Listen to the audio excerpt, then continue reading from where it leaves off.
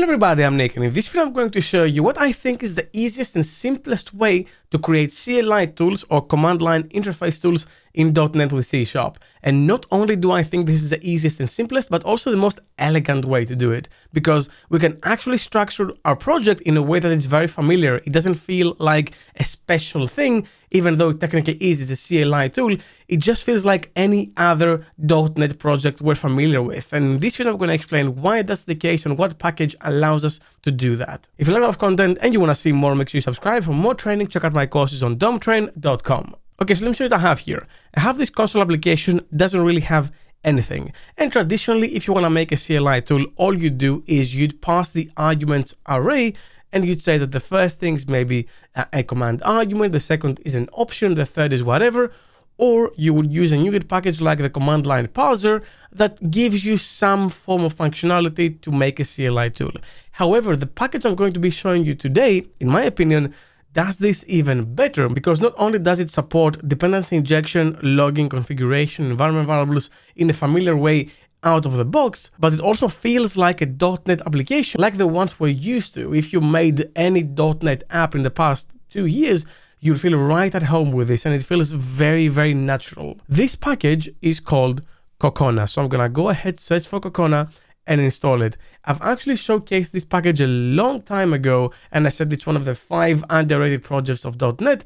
Since then, it has grown. So I'm going to put a link in the description if you want to give it a star on GitHub. I think it's an excellent project that you should be using if you're making CLI tools. And the simplest way you can make a CLI tool with Cocona is say Cocona app.run, and then you can have this delegate over here. And in the delegate, you can say console.writeline hello world. And that is it. So if I go to the terminal, I can say .NET run, and I'm gonna get hello world. Now you might think, wait, I could do this hello world even without Cocona. Why do I need Cocona? Well, you need it because now you can also have in that delegate parameters in the same way in a minimal API you'd have parameters in that delegate. And you can get the name and you can say hello and now grab that name. So what I can do now is go to the console, say .NET run and pass the option name and as you can see now, I say hello name name. I wanted to say Nick, so I'm gonna say Nick, but as you can see, I'm getting the name. Now by default, that name is what we call an option in Cocona, meaning I have to name it, it is this one, and I can give it an alias as well if I want to. So that would be something like this. If I want it to be um, N, for example, to pass the name, I can do the following. I can say N, remove the double hyphen, and say name is Nick and you're gonna get hello Nick. But I can also have in Cocona what's called an argument and I don't have to name it, it will use the name of the parameter. And if I do that, I can go here and say remove this and this option and pass it as an argument. It is the first one, it is Nick. So I have a couple of options to pass down things and I can use both. So if I wanted to have the argument here and then the option of the last name, for example, by default, if this is not nullable, it's going to be mandatory. So I can go here and pass it down. And if I don't provide it, it's going to say, hey, you're missing the last name uh, option. But if I go ahead and say last name is Chapsas, I can do that and we're going to get Nick Chapsas. Now, if this was nullable, I can go here and say that this string is nullable, return back not provided, and we're gonna get that printed anyway because if it's not nullable it is optional. Not only that but in the same way that in the .NET CLI for example we have the help command that lets us know what options we have available to us what are the arguments what are the options. I can have the exact same thing in Cocona so I can go ahead in my argument and say that description is the first name and then in the option I can also have a description and say the last name. And by default, I get a help command. I can go back and say .NET run, go into command mode and say help. And I'm going to get the help description of the tool, which in this case is argument name, the first name required, options, last name, string, the last name. So we get that sort of behavior out of the box. Now that's great and all, but that doesn't really look like what I made it appear to be, which is something that looks like a .NET application, more specifically an ASP.NET Core application. Well, we can do that by getting first the builder in the same way you would get a builder in ASP.NET Core by calling the web application create builder. Now we're gonna say Cocona app dot create builder.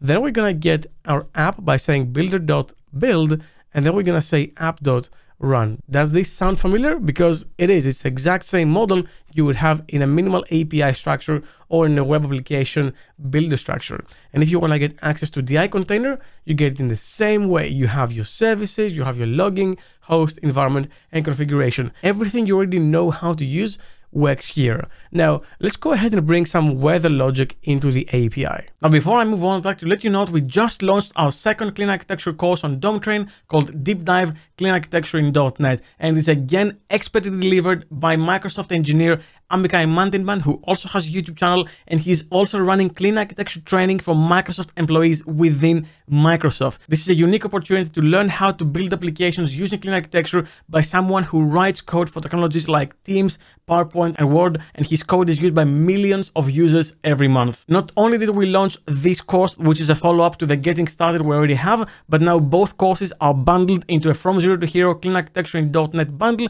which also has a permanent 20% discount. So if you want to buy both, that's the best value you're gonna find. Now to celebrate the launch, I'd like to offer the first 500 of you a 20% discount on this brand new course. So check the link in the description and use code CLEAN20 at checkout. This is by far the best clean architecture course you're gonna find out there everything updated to latest.net with latest practices by someone who's actually practicing what he's teaching in one of the biggest companies in the world. So don't miss this opportunity. Now back to the video. To do that, I'll bring in this folder over here that includes a way to call the openweathermap.org API to get the weather for a city, the current real weather, and I'm using a real API key to call that. Now, I will need things like dependency injection here and also the iHTTP client factory to generate those clients. How can I do that? Well, like I said, DI works fine and HTTP clients and all that works fine. So all you want to say is Microsoft.extensions http and bring in that logic and immediately that error goes away and I can use it. Meaning I can go to program.cs, say builder.services.add singleton and register the weather service as a singleton. I can also say builder.services.add HTTP client and that will register my iHTTP client factory. Now by default here I have no commands, but I can go very easily and add or map in a way my weather command. How? Well, I can use my add command method. So the command is weather and here goes my delegate. So what do I want? Well, to start with, let's just get the weather. So what I'm going to do is inject the iWeather service over here and then get the weather. So var weather equals await the weather service. I'm just going to hard code London in here. And I'm going to turn this into async, which I can and all this will work. And then I'm going to say console.writeLine, and I'm going to serialize in JSON the response, which is weather. And I'm going to pass down some configuration as well, just so we pretty print the JSON. And that is it. And now I can go to the console again and say .NET run weather and I'm going to get the weather as you can see. Now I'm also getting some logging out of the box as you can see and a few warnings that are relevant, they're build related, but this now works and I can also use the command syntax that will also give me the exact same result, which is I'm getting the actual current weather for London right now, which is amazing. Now, of course, I would want to add an option for London, the city. So by default, if I say city over here, this is an option and I can take this option and pass it down here. And because it's not nullable, it is mandatory. So if I just try to do the same thing, it's going to say, hey, option city is not passed. You have to pass it down. So city, London, and I'm getting the weather here. I can do city, um, Paris, for example, and I'm gonna get the weather for Paris and so on. This is the real weather as well. Now, a few things I don't like. I don't like to have the logs of the HTTP client factory. So what I can do here is I could either bring in an app settings.json file to customize the logs, or since I have access to the loggers, I can just say logging.add filter, specify the category, and say that I want this to only bother me if you have a warning or anything higher than a warning. And if I do that and I do the exact same thing in the command, I don't get all those logs anymore. All I get is the response, and that is it. Now, all that goes way deeper, and normally you wouldn't really have that command over here. What you would probably have is you would organize those commands in their own files. For example, I would have over here a weather command or a weather file or class, and I would have this logic here. How? Well, I can have the following. I can say public async task over here, and I can call a method weather. So I'm gonna leave it as it is for now. And then what am I doing here? I'm injecting the iWeather service. Well, I can do that in the weather command class. So I can say private read only, pass down that parameter and inject it through the constructor. And then I can use it to do whatever I want in my weather method. So what was I doing here? I was just calling this, serializing it, and then pasting it or printing it in the console. So I'm gonna do the exact same thing here. I'm gonna do the exact same thing with the parameter again. I'm gonna have the city and then the serializer. So I'll comment all of this command out. We're not gonna need it anymore, but if you wanna grab it from the code down below, you can. I'm gonna leave it here for you. And now what I'm going to do instead is say app.add commands, and I'm going to add the weather commands as a class over here as a type. Now by default, because this is the only method in this class, any name it will actually work here to get the weather. I can say a is whatever weather and I'm going to get it. However, I have two options here. For example, first I can say that this is a command and the name of the command is weather. The moment I do that, I can change the name of this to be whatever I want.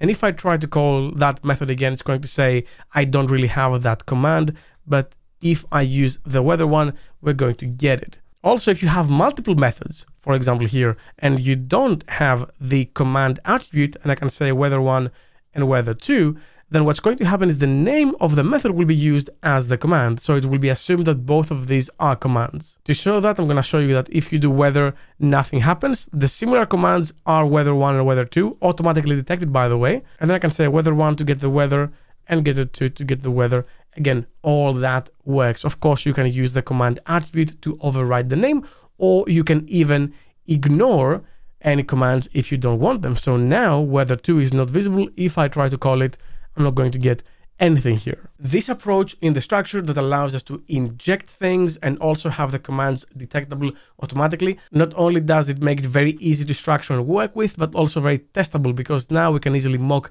everything that we need and now that we can write reliable unit tests for application. Now there's more things you can do with nested commands and sub commands, but I'm going to leave you with this because this sets all the right foundation for you to take this anywhere. The basic approach the structure is very, very simple, but it is so, so powerful. And you can lift and shift literally things you have in your ASP.NET Core applications into a Cocona app and it will work because of how the structure works and how the interfaces work. I think it's an amazing project that everyone should give a go and try and also give a star on GitHub. But now I want to know from you, how do you make command line applications and do you make them in the first place? I know I do for things like control these lights over here or things in my house. But what are you using them for? Leave a comment down below, let me know. Well, that's all I had for you for this video. Thank you very much for watching, and as always, keep coding.